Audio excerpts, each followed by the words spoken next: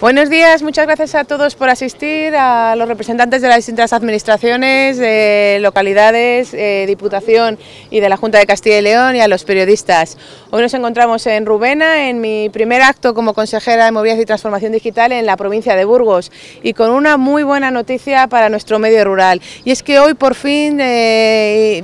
tras un año implantándolo en distintas zonas, se completa y a partir de mañana los ciudadanos del medio rural podrán tener acceso al bono rural eh, gratuito del transporte a la demanda un transporte a la demanda que está organizado en 123 zonas en la, comunidad de Castilla y León eh, y, que, permite a los ciudadanos a través de la aplicación en internet o a través de la página web o a través de la aplicación en el móvil o incluso también llamando a un teléfono gratuito que está puesto a su disposición la reserva de transporte a la demanda, de manera que todos los ciudadanos vivan donde vivan puedan acceder a las mismas condiciones de igualdad a los servicios básicos.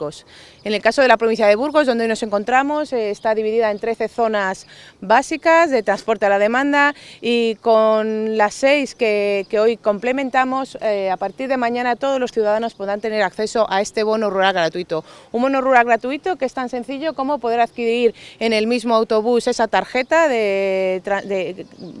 bono gratuito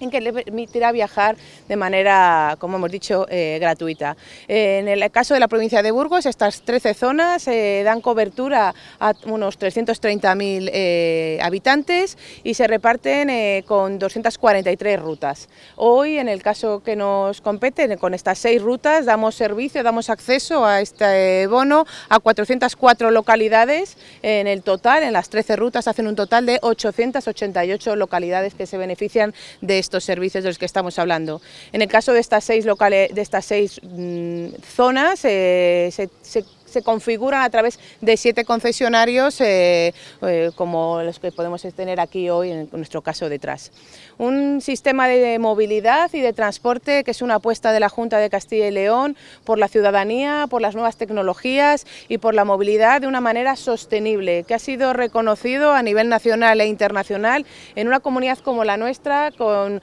una amplia, eh, un amplio territorio, con una baja densidad de población, que permite a los ciudadanos poder acceder a los servicios básicos se encuentren donde se encuentren y vivan donde vivan, pero siempre bajo la perspectiva de un uso eficiente de los recursos económicos, humanos y de la sostenibilidad medioambiental. Eh, por último, agradecer en este caso al Ayuntamiento de Rubena y al alcalde que hoy nos acompaña aquí, recibirnos en su localidad, en su municipio y agradecer a todos eh, su presencia aquí, a los numerosos alcaldes que hoy nos acompañan de estas 404 localidades. Me pongo a su disposición si tienen alguna pregunta.